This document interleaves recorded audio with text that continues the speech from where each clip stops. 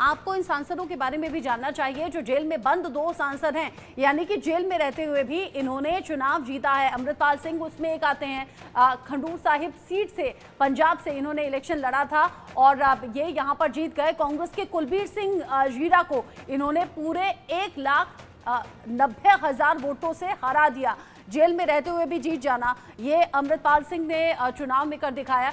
साथ ही साथ जो दूसरे यहाँ पर आते हैं नेता, वो राशिद इंजीनियर हैं। वो भी चुनाव जीत गए हैं जम्मू कश्मीर के बारामूला सीट से। यहाँ पर जम्मू कश्मीर नेशनल कॉन्फ्रेंस के उमर अब्दुल्ला को पूरे दो लाख से ज़्यादा वोटों से हराया है। जीत का जो अंतर इन दोनों नेताओं का आप देख रहे हैं, अमृतपाल सिंह एक लाख नब्बे हज़ार वोटों से जीते। यहाँ पर हरा दिया उन्होंने कांग्रेस के कुलवीर सिंह को। वो भी पंजाब की खंडूर साहिब सीट से। और यहाँ जम्मू कश्मीर, बारामूला सीट, यहाँ पर लोगों ने बढ़ चढ़कर वोटिंग में हिस्सा लिया, रिकॉर्ड वोटिंग की। लेकिन यहाँ जम्मू कश्मीर नेशनल कॉन्फ्रेंस के उमर अब्दुल्ला को दो लाख से भी ज़्यादा वोटों से हराया है राशिद इंजीनियर ने। और जो सबसे बड़ी बात है, वो ये कि दोनों ही ये जो नेता हैं, जो कि अब सांसद बन चुके हैं, ये जेल में रहते हुए इन चुनावों को जीते हैं। लेकिन इन सब के साथ ही अठारहवीं लोकसभा के सत्र पर निगाहें रहने वाली हैं, इसलिए भी क्योंकि लगातार देश में तीसरी बार ऐसा है कि एनडीए की सरकार बनी है और एनडीए की सरकार बनने के बाद जब लगातार प्रधानमंत्री नरेंद्र मोदी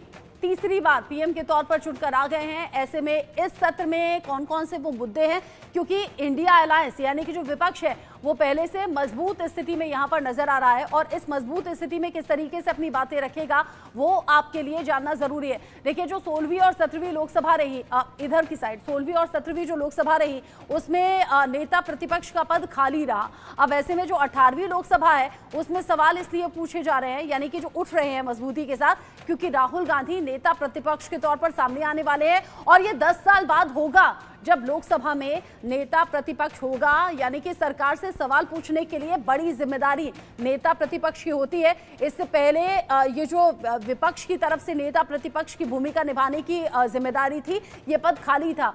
ऐसे ये एक बड़े बदलाव भी हैं। बड़ा बदलाव ये भी है कि 2024 में इंडिया अलायंस बेहतर तरीके से आगे बढ़ा है। हाँ बहुमत ज़रूर नहीं मिला, लेकिन जो नंबर्स है, उसके बाद कॉन्फिडेंस बढ़ा हुआ है। और इसीलिए राकेश कुमार सिंह अभी थोड़ी देर पहले कह रहे थे कि संविधान की प्रतियाँ हाथ में लेकर जो विपक्षी सांसद हैं, वो संसद की तरफ़ कूच करने वाले हैं और उनका कहना यह है कि संविधान बचाने की जो ज़िम्मेदारी है, वो देश की जनता ने हमें सौंपी है और इसीलिए हम देश को संविधान को बचाने की कोशिश भी करेंगे और इसीलिए संसद के भीतर बड़े सवाल भी पूछे जाएँगे। देखिए तस्वीरें भी मिलनी शुरू हो गई हैं, क्योंकि दस बजे मीडिया को संबोधित भी करेंगे प्रधानमंत्री नरेंद्र मोदी और अठारहवीं लोकसभा के सत्र पर निगाहें सभी के आदित्य मेरे साथ में जुड़ गए हैं इंडिया न्यूज़ संवाददाता, जो इस खबर को लेकर ज़्यादा अपडेट हमारे दर्शकों तक पहुंचाएँगे।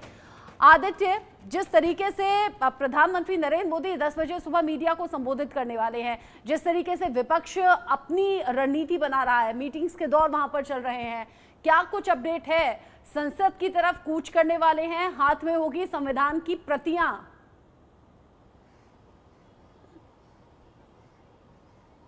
जी, बिल्कुल आपने सही कहा कि जिस तरीके से पूरा मामला है, जिस तरीके से विपक्ष ने बीजेपी को और एनडीए को घेरना शुरू कर दिया है तो उसका जवाब जो है बीजेपी तैयार कर रहा है और एनडीए तैयार कर रहा है कि किस तरीके से हमें जवाब देना है।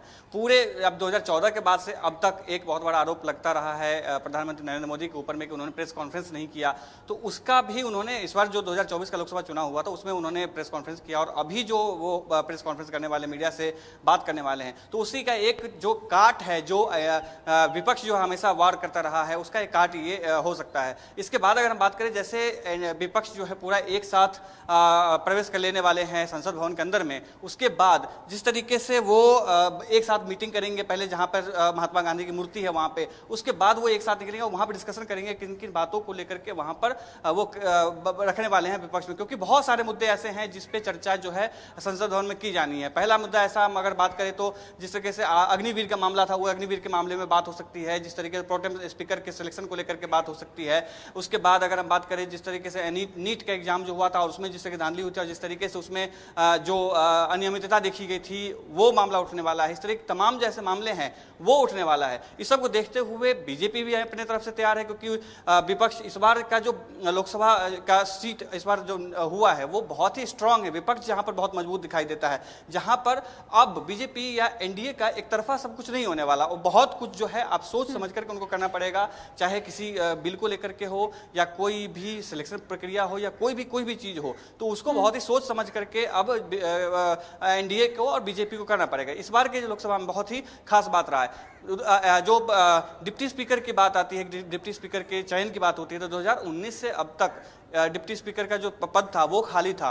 तो उसको लेकर के भी विपक्ष इस बात को उठा रही है कि वो जो पद है वो विपक्ष को मिलना चाहिए जो संसद भवन का या लोकसभा का जो एक प्र, जो प्रथा रही है उसके अनुसार। उसके बाद एक बात ये आई थी कि जिस तरीके से एनडीए के जो घटक दल हैं उनको विपक्ष जो है कह रहा था कि आप स्पीकर पद के लिए आप मांग करिए या अंदरूनी जो बातचीत चल रही थी। उसके बाद जो है एनडीए के जितने घटक दल हैं उन्होंने साफ़ कह दिया था बीजेपी को कि आप स्पीकर के चुनाव खुद से करेंगे। तो कहीं ना कहीं जिस तरीके से विपक्ष अपने हमलावर है उसके लिए बचाव पक्ष के लिए एनडीए भी तैयार है बीजेपी भी बहुत अच्छे से तैयार है जो धरातल पे भी काम कर रहे हैं जिस तरीके से सड़कों पे है और इन तैयारियों को मुकम्मल करते हुए सत्र के भीतर की तस्वीरें भी सामने आएँगी। एक तरफ़ तो इंडिया अलायंस है जो की मीटिंग्स का दौर यहाँ पर चला रहा है। कौन कौन से सवाल है और कौन कौन से मुद्दे हैं जिस पर सरकार को घेरा जाए? और इधर एनडीए की अपनी तैयारी है जिसमें आप कह रहे हैं ये एक बड़ी शुरुआत जहाँ पीएम मोदी प्रेस कॉन्फ्रेंस करेंगे। हालाँकि प्रेस कॉन्फ्रेंस जहाँ पर पत्रकार सवाल पूछते हैं तो क्या वो पत्रकार सवाल पूछेंगे या उनका जवाब मिलेगा? ये देखना दिलचस्प होगा। सुबह दस बजे का टाइम बताया जा रहा है। आदित्य, आप रहिएगा। आगे जो अपडेट होगा, आपके ज़रिए दर्शकों तक पहुंचाएँगे। चूँकि आज अठारहवीं लोकसभा सत्र का शुरुआत हो रही है और शुरुआत जब हो रही है तो बहुत से सवाल यहाँ पर उठे हैं। सवाल कुछ ऐसे भी हैं कि 2019 के मुकाबले 40 दिन छोटा यहाँ पर पहला सत्र रखा गया है। यहाँ अगर आप देखेंगे सत्रहवीं लोकसभा और ये अठारहवीं लोकसभा के बारे में जानकारी आपको दिखेगी। यहाँ पीएम की शपथ हुई थी 30 मई को। यहाँ पहला सत्र जो था वो 17 दिन का रखा गया था, जून से लेकर नहीं, पहला सत्र जो था वो 17 जून से लेकर 26 जुलाई तक रखा गया था। और ये जो अठारहवीं लोकसभा की जानकारी आप देख रहे हैं, पीएम मोदी की शपथ हुई थी यहाँ पर नौ जून को। पहला सत्र 24 जून से तीन जुलाई का यहाँ पर रखा गया है। यानी कि पहले से 40 दिन छोटा ये पहला सत्र रखा गया है। 2019 के मुकाबले। अब यहाँ पर 40 दिन छोटा सत्र रखने के पीछे क्या कुछ उद्देश्य हो सकता है? केवल 10 दिन का ये सत्र रखा गया है, क्योंकि यहाँ पर अच्छे खासे दिन थे। 17 जून से 26 जुलाई का ये लंबा सत्र था, लेकिन उसे छोटा कर दिया गया है 40 दिन। अठारहवीं लोकसभा में ये भी एक स्ट्रैटेजी का पार्ट हो सकता है। शुरुआत के दो दिन सांसदों की शपथ में जाएँगे और उसके बाद में अलग अलग मसले रहने वाले हैं। आदित्य आपने कहा कि प्रेस कॉन्फ्रेंस को लेकर विपक्ष सवाल पूछता रहा था और इसकी शुरुआत आज ऐसे हो जाएगी कि प्रेस कॉन्फ्रेंस पीएम मोदी करने वाले हैं। जो मैंने सवाल पूछा वो तो था ही कि पत्रकार क्या उसमें सवाल पूछ पाएँगे आज़ादी के साथ और उनका जवाब मिलेगा क्या? लेकिन साथ ही साथ 2019 के मुकाबले जो सत्र है वो काफ़ी छोटा है श्रिंक हो गया है, वो भी 40 दिन छोटा। ऐसा क्यों?